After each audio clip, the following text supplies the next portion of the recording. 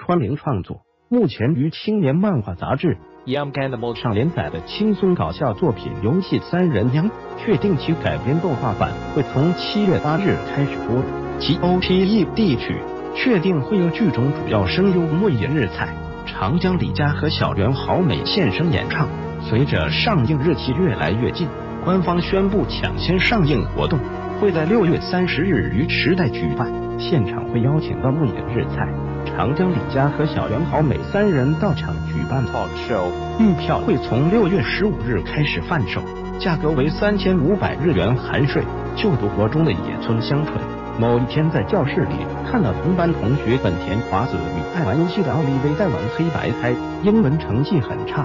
想要学好英文的香纯心生一计，就是陪同美国人奥利威玩耍，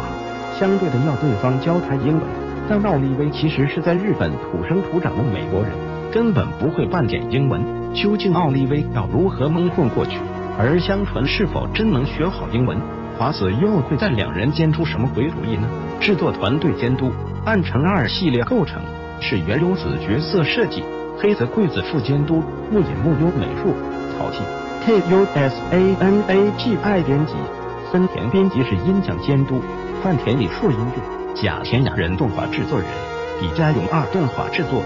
声优卡斯本田华子，木野日菜奥利威，长江李家野村香纯，小原好美钱多志勉，龙太郎学长会长，井上穗乃花冈，金泽武阿德里帕，户田惠清空都，优木碧通口老师，前川良子济南老师。曾谷康吉高刘老师，斋贺光希本田健太郎，李村荣新旁白，伊德魔纪。